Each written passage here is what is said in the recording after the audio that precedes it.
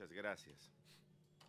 Es un tema, señora presidenta, y saludo al superintendente y a los superintendentes adjuntos que nos visitan, que se deriva de la ley 29985 aprobada en el Congreso en enero del 2013, ley que regula las características básicas del dinero electrónico como instrumento de inclusión financiera, es decir, mover dinero fundamentalmente a través de los teléfonos celulares, fundamentalmente, ¿no?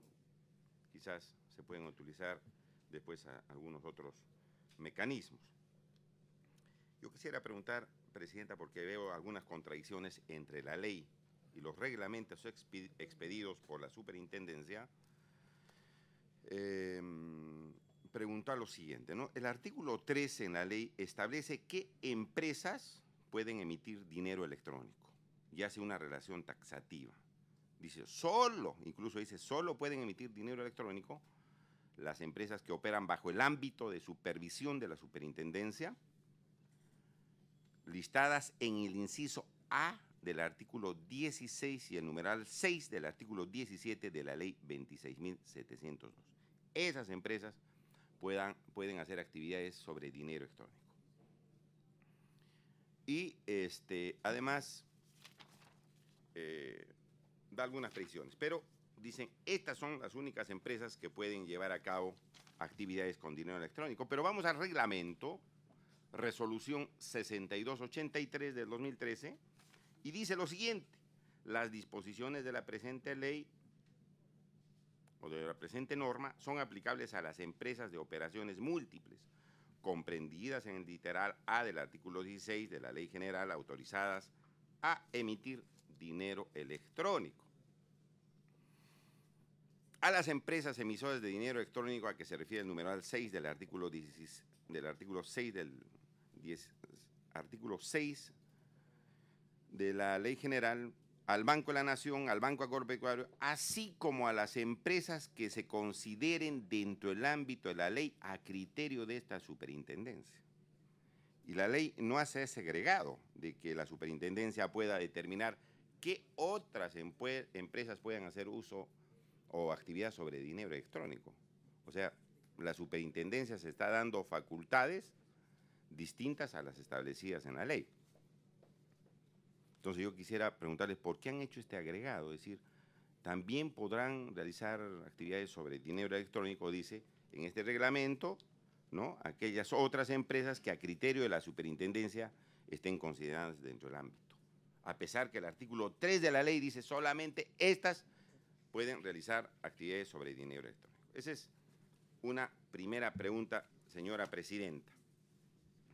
Segunda pregunta, artículo cuarto del reglamento. Establece los siguientes, soportes para uso de dinero electrónico. ¿Cuáles son los soportes para hacer actividades o operaciones de dinero electrónico. Teléfonos móviles, tarjetas de prepago, cualquier otro equipo o dispositivo electrónico que cumpla los fines establecidos en la ley. Si se va a usar teléfonos móviles, eh, tienen que estar ahí las empresas de telefonía, que tienen que tener relación con los bancos o las EDES, las empresas que van a mover dinero electrónico. Y además estas tienen relación con el usuario nos dice en su explicación que hay 850 mil usuarios ya en esto de la banca electrónica. La pregunta es, ¿cuánto de comisiones le están cobrando? ¿Le están cobrando una sola comisión o varias comisiones? ¿Cuánto son las comisiones que están pagando los usuarios por hacer este tipo de operaciones? Porque eso es importante también para nosotros.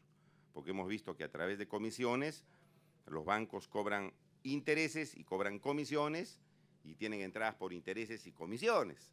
Y casi el 30% de, las utilidades que tienen los bancos vienen de comisiones.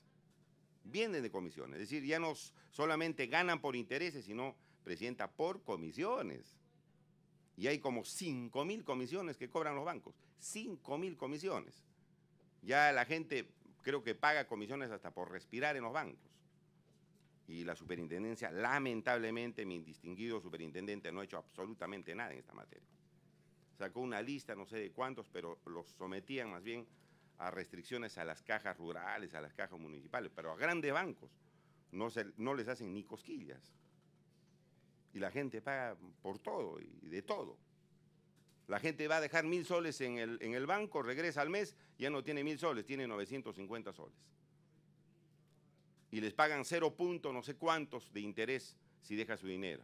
Y cuando prestan ellos, cobran 200, 300%, 150%. Hay una desproporción escalofriante respecto a esto que tampoco la superintendencia hace nada. O sea, nos pagan miserables intereses, que son eh, este, intereses pasivos, y la superintendenta permite que ellos nos saquen los calzoncillos por los préstamos en los bancos. Y esto, mi distinguido superintendente, no ha cambiado en el Perú. Y no hay un sentido de equidad. No hay sentido de equidad.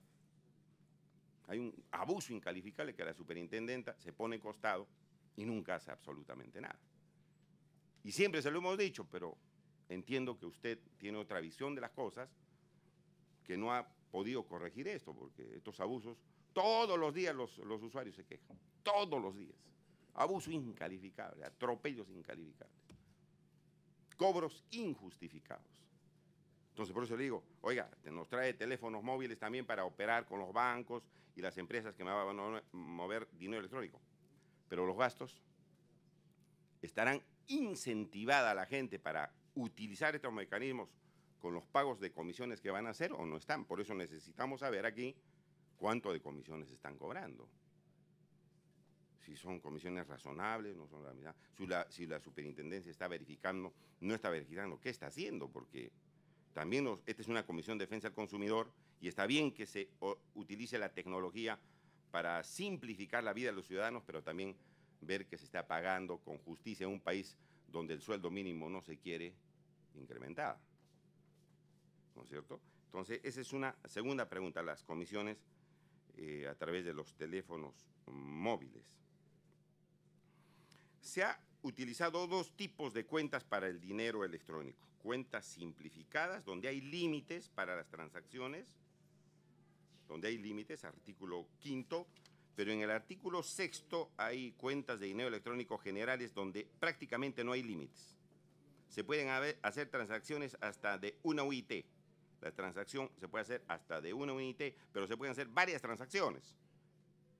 Entonces, pero acá se presta pues para los fraudes estos electrónicos de los, de, las, de los delincuentes que utilizan las redes sociales para, para desfalcar a la gente. ¿Por qué se ha creado esta cuenta simplificada y esta cuenta general? ¿No hubiera sido más razonable para seguridad de los usuarios que solamente sean cuentas simplificadas? Porque las cuentas generales después van a meterse ahí los delincuentes y van a hacer lo que les da la gana con los fraudes. Entonces, ¿por qué solamente no se dejó en cuentas simplificadas y se ha abierto a cuentas generales? A cuentas generales donde no hay límite y donde puede haber ahí peligro para los usuarios en, muchos sentidos, ¿no? Y este, obviamente, pues a través de una cuenta general se puede facilitar, señor superintendente, el lavado de activos se mueve, se mueve, se mueve. ¿Y cómo los controlamos? Bien difícil controlar, ¿no? Ahora es difícil controlar, imagínense a través de un teléfono celular donde hay millones de celulares, obviamente, ¿no? Entonces queremos que haya seguridad para los usuarios y no haya pues lavado de activos, no haya lavado de activos, porque el lavado de activos, según eh, referencias que tenemos, está incrementando sustantivamente en el país se está incrementando, Presidenta, sustantivamente. Entonces, hay que tomar previsiones. Hubiera sido mejor solamente tener cuentas simplificadas que cuentas generales, que ahí se da paso también a que sea utilizado por las directivas. Y se va, señora Presidenta, a utilizar los, los celulares. La pregunta es, ¿cómo bloqueamos, cómo controlamos 3 millones de celulares, dice que se han perdido y que pueden estar en manos de delincuentes? ¿Qué previsiones existen para el bloqueo de estos celulares? ¿Se ha coordinado? ¿Se ha tomado las precauciones necesarias? De las cárceles, Presidenta, se, planifican atracos, muertes y obviamente los delincuentes no tienen límites. También posiblemente ya están estudiando cómo manejar este tipo de facilidades que está dando la ley. Entonces, ¿cómo prevenir eso? cómo prevenir la situación del mal uso de los celulares, teniendo en consideración, Presidenta, que hay 3 millones de celulares perdidos. El artículo 13 establece que los contratos eh, tienen que, mm, lo- los emisores de dinero ICE electrónico podrán diseñar contratos simplificados de dinero electrónico conforme a los lineamientos generales en el Reglamento de Transparencia, Información y Contratación con Usuarios del Sistema Financiero. Yo, yo quisiera decirle que eh, eh, eh, la forma, digamos, más celosa de poder utilizar o hacer un reglamento o poner nociones para efecto de proteger a los usuarios no es a través de los uh, reglamentos de transparencia de los bancos, teniendo en cuenta el reglamento de transparencia de información y contratación con usuarios del sistema financiero. Si no, tengo que hacerle recuerdo, superintendente, a que aquí se ha aprobado un código de defensa del consumidor, que ahí están las normas más precisas cómo se protege a los consumidores, porque si usted va a utilizar el reglamento de los bancos, usted entenderá que los bancos a los usuarios no les da mucha protección, pero sí tendría usted que utilizar el Código de Defensa del Consumidor, que es mucho más, ah, mucho más preciso y mucho más este, celoso en este asunto, presidente. Como usted me dice que hay que este, No, tenemos el plan el- aprobado, son tres minutos, máximo cinco minutos, Sí. colega Bueno, yo, yo voy a terminar ahí, Presidenta, solicitando también una última pregunta. Eh, en otro reglamento, en el 6284-2013, se dice que las empresas que se constituyen para efectos de utilizar dinero electrónico, artículo 7 de este reglamento, dice, las EEDE no se encuentran obligadas a contar con una clasificación de riesgos no se encuentran a contar con una clasificación de riesgos. ¿No sería mejor que cuenten con una clasificación de riesgos para darle mejor seguridad a los usuarios? ¿Por qué razón no se les pide esta clasificación de riesgo a estas empresas? Yo termino con esto, Presidenta, haciéndole llegar a nuestro superintendente la preocupación de que lamentablemente no vemos, no vemos eh, el corte de muchos abusos que se dan en los bancos Presidenta, en el trato a los usuarios, en el cobro de comisiones. Y ojalá que se pueda tomar alguna decisión con mayor voluntad, con mayor decisión para proteger a los peruanos y no permitir, señor superintendente, que los bancos sigan ganando indiscriminadamente dinero a costa del sacrificio de los peruanos. Gracias, señor presidente.